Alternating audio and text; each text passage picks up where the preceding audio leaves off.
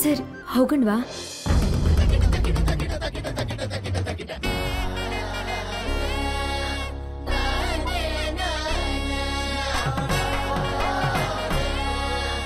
ಏನಿದು?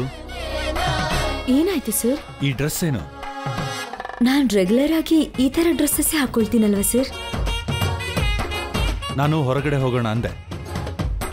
ಒಳ್ಳೆ dress plan ಮಾಡ್ಬೇಕಲ್ವಾ? ಎಲ್ಲಿಗೆ ಹೋಗ್ತಿದ್ದೀವಿ ಅಂತ ನೀವು ಹೇಳಿಲ್ವಲ್ಲ? ಒಂದೊಂದು ಪ್ಲೇಸ್ಗೂ ಬಟ್ಟೆಗಳು ಬದಲಾಗತ್ತಲ್ವ ಸರ್? ನಮ್ ಕಂಫರ್ಟಬಲ್ ಕೂಡ ನೋಡ್ಕೋಬೇಕಲ್ವಾ? ಸೌಕರ್ಯ ನೋಡ್ಕೋಬೇಕು. ಸ್ವಲ್ಪ ಲುಕ್ ಕೂಡ ನೋಡ್ಕೋಬೇಕಲ್ವಾ ವಸುಧರ? ಎಲ್ಲಿಗೆ ಹೋಗ್ತಿದ್ದೀವಿ ಅಂತ ನೀವು ಹೇಳ್ತಿಲ್ಲ ಮತ್ತೆ ಈ ತರ ಡ್ರೆಸ್ ಯಾಕೆ ಅಂತೀರಾ? ಇವಾಗ ವಾದ ಮಾಡಬೇಡ ವಸುಧರ. ಈ ಡ್ರೆಸ್ ನನಗೆ ಇಷ್ಟ ಆಗ್ಲಿಲ್ಲ. ನೀನ್ ಹೋಗಿ ಡ್ರೆಸ್ ಚೇಂಜ್ ಮಾಡ್ಕೊಂಬ. ಅಬ್, ಏನಾಯ್ತು ಸರ್? ಡ್ರೆಸ್ ಚೆನ್ನಾಗೇ ಇದೆಯಲ್ಲ? ವಸುಧರ ನಾನು ಹೇಳೋದನ್ನ ಹೇಳ್ತಾ ಇದ್ದೀನಿ. ನೀನ್ ವಾದ ಮಾಡ್ತಾನೆ ಇದೀಯಾ? ಆದ್ರೂ ಡ್ರೆಸ್ ಏನಿದೆ ಸರ್? ನಮ್ ವ್ಯಕ್ತಿತ್ವ ನಮ್ಗಿರುತ್ತಲ್ವಾ?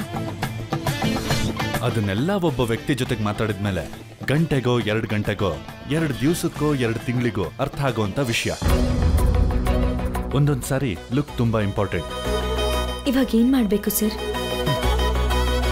ನಾನು ಹೋಗಿ ಕಾರಲ್ಲಿ ಕೂತಿರ್ತೀನಿ.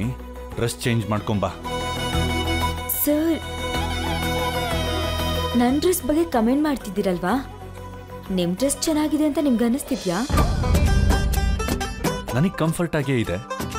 ನನಗೂ ಈ ಡ್ರೆಸ್ ಕಂಫರ್ಟಬಲ್ ಆಗೇ ಇದೆ. ನೋಡು ಹೇಳ್ಬೇಕಾಗಿರೋದನ್ನ ಹೇಳಿದೀನಿ. ಮಾಡ್ಬೇಕಾಗಿರೋದನ್ನ ಮಾಡು. ನಾನು ಫೈವ್ ಮಿನಿಟ್ಸ್ ವೆಯ್ಟ್ ಮಾಡ್ತೀನಿ. ಡ್ರೆಸ್ ಚೇಂಜ್ ಮಾಡ್ತೀಯೋ ಚೇಂಜ್ ಮಾಡದೇ ಇರ್ತೀಯೋ? ಬರ್ತೀಯೋ ಬರ್ದೇನೆ ಹಾಗೆ ಇರ್ತೀಯೋ ನಿನ್ನಿಷ್ಟ.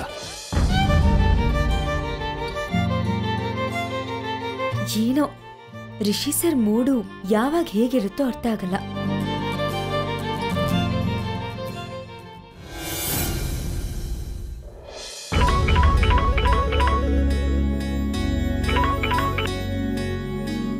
ಹೇಳು ಹಸು ಏನ್ ಮೇಡಮ್ ನಿಮ್ಮ ಮಗ?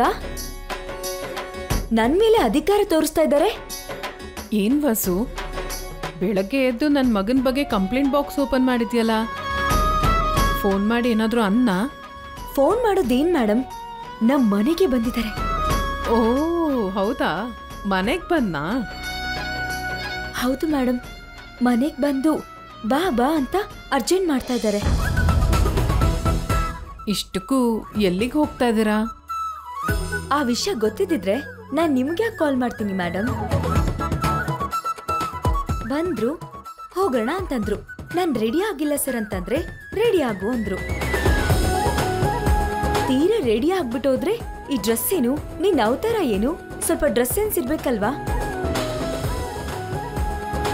ಅಷ್ಟಕ್ಕೂ ಏನ್ ಮೇಡಮ್ ಇದು? ನನ್ ಮೇಲೆ ಅಧಿಕಾರ ಯಾಕೆ? ಎಲ್ಲರ ಮುಂದೆ ನೋಡಿದ್ರೆ ಗಂಡ ಅಂತ ಒಪ್ಕೊಳ್ತಾರೆ. ನಾಲ್ಕು ಗೋಡೆ ಮಧ್ಯೆ ಹೆಂಡತಿ ಅಲ್ಲ ಅಂತ ಹೇಳ್ತಾರೆ. ನಾನು ಅವ್ರ ಹೆಂಡತಿ ಅಲ್ಲ ಅಂದಮೇಲೆ ಅವ್ರಿಗೆ ನನ್ನ ಮೇಲೆ ಏನು ಅಧಿಕಾರ ಇರುತ್ತೆ ಮೇಡಮ್ ವಸು ವಸು ವಸು ಸ್ವಲ್ಪ ಇರ್ತೀಯಾ? ನೀನ್ ರಿಷಿನ್ ಕೇಳ್ಬೇಕಾಗಿರೋ ಪ್ರಶ್ನೆಗಳನ್ನೆಲ್ಲ ನನ್ನನ್ನು ಕೇಳ್ತಿದ್ಯಲ್ಲ? ಅಂದ್ರೆ ಮೇಡಮ್ ಅದು? ನನಗೆ ಅರ್ಥ ಆಯ್ತು ವಸು. ಈಗ ನಮ್ಮ ಮೇಲೆ ಅಧಿಕಾರ ಚಲಾಯಿಸ್ತಾ ಇದ್ದಾರೆ ಅಂತಂದ್ರೆ ಪ್ರೀತಿ ಇದೆ ಅಂತ ತಾನೇ ಅರ್ಥ?